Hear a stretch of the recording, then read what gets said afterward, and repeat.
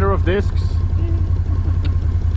Today it's uh, double working. We go down to hole five and uh, make path, and Ove here will cut the grass on hole one. Ove is uh, liking very much uh, English uh, speaking.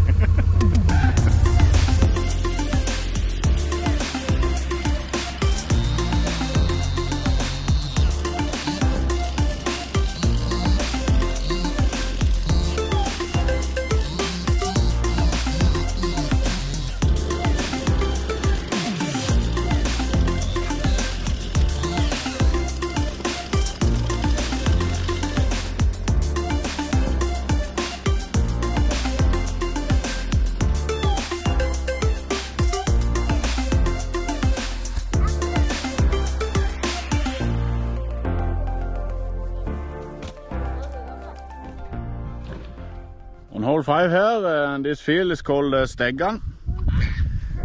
It's a little bit wet. Uh, I think the water is a little bit too high. There's a dam at the end. Uh, this field is sometimes very wet. Most of the players who play this course go across here anyway, so they don't land here and have to play. So they just walk across the field because this place is a hazard. So we make a dry walkway across Se den her.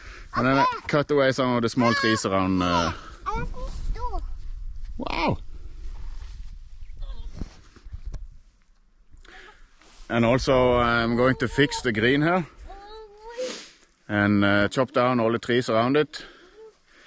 Build up with these uh, cutaways, the hunve, and uh, rocks from the roof of flyng, and then uh, wood chips on top where the basket is.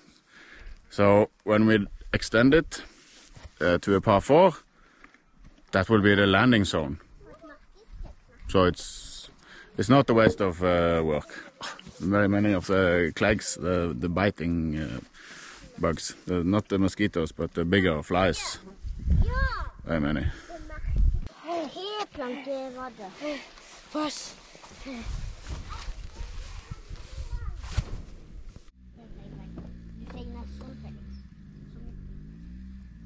So we're also making uh, just a trap, not a trap, uh, some stairs, a ladder over the sheep fence here. Yeah.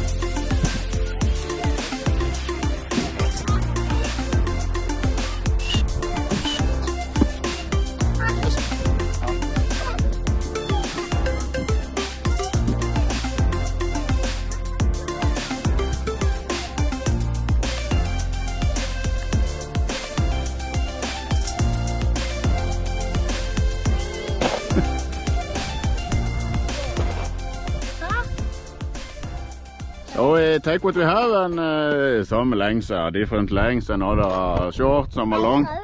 We use the okay, make a trap. No, again. We make a ladder over the fence, so it's easier. The kids are helping.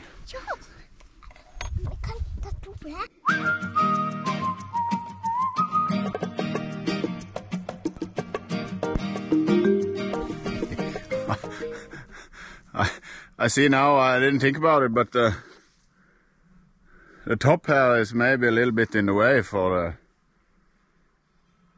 for the throw from the drop zone.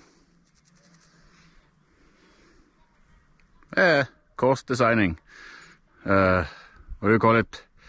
Uh, unintentional course design.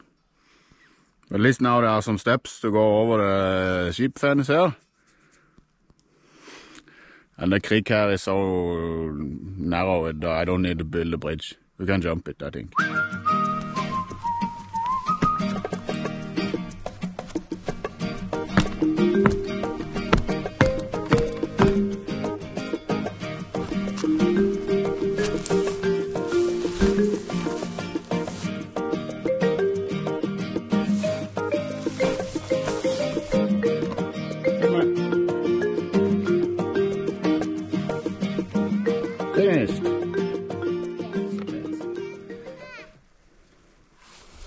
Little bit left, but here is dry. We can do the rest a little bit here and a little bit over there the next time. So two full hangers and a little bit more and we are finished here. I'll go help Felix with a small bike.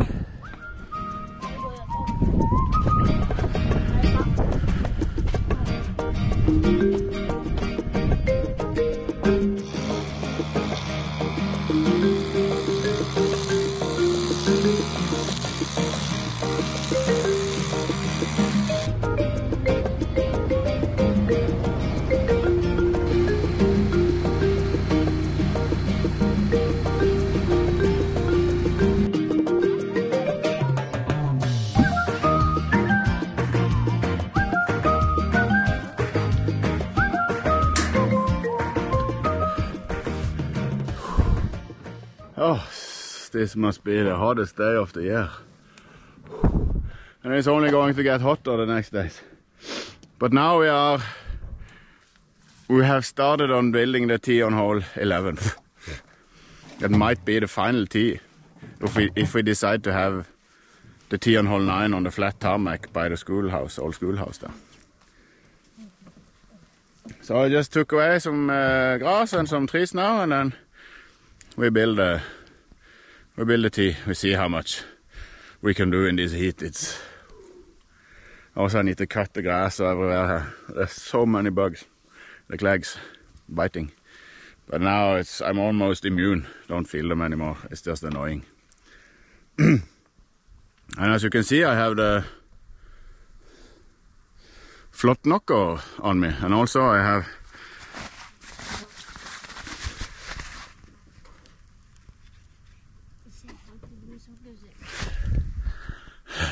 some red socks. And this clothing are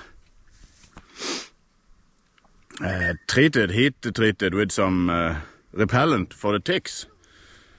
So it's perfect when you're in the woods and when you're golfing in the woods. Get your socks on, that's mostly where they come up and, and uh, creep up. And uh, t-shirts or sweaters they also have and some wristbands. Uh, 70 washings. Flott. Norwegian company just right down the road here, Consmo. I'm very happy. I've just started using them. And I'll uh, give you uh, more updates if I feel more or less or no ticks biting me after these clothes. So I use the, use the socks all the time when I'm out and the t-shirts and it's very good. But now T-pad.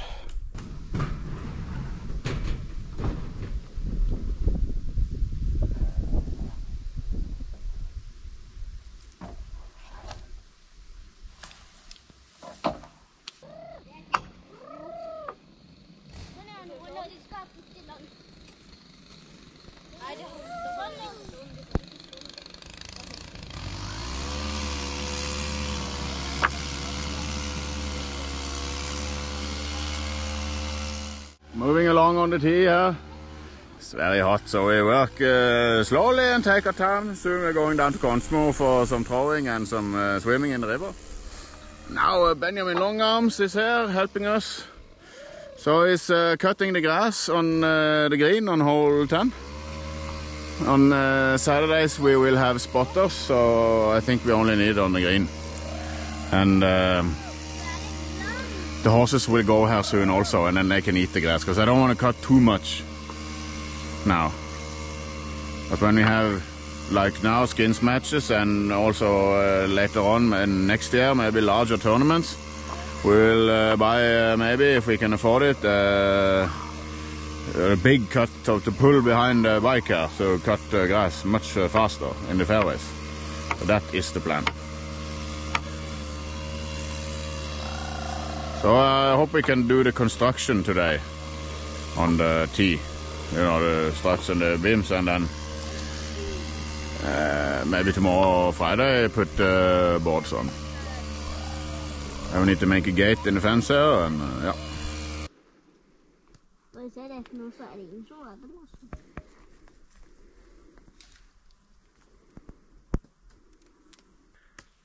Almost finished with the main construction. We didn't have enough planks. So that's it for today, I think. We take some more planks tomorrow and the plates, and then finish the tee tomorrow. Nei, den blir jo bøyd. It'll be a good tee. And a very, very difficult hole. Difficult. en jakka. Long 200 meter, 201 meter, par four. This is a hole that I think it's the only hole on our course which it's possible to get an eagle. The last tournament, I think there was this guy from Estonia, Sim. I think he had a long, long eagle putt and uh, managed to birdie. Åh, And it's also a hole where you can very easily end up in Barney. Barney Rubble. Trouble. And now it's even more difficult with the mast in the way. And there are some uh, branches uh, here, so you can't. And the woods on the side here, so it's not possible with a big hyzer uh, either. You have to throw it flat. I, I, I like I like this I like this design. We'll see the weekend when Peter, Knut, and Christian and Håkon play. Maybe they don't like it. But now I've built the tee. So you better du det?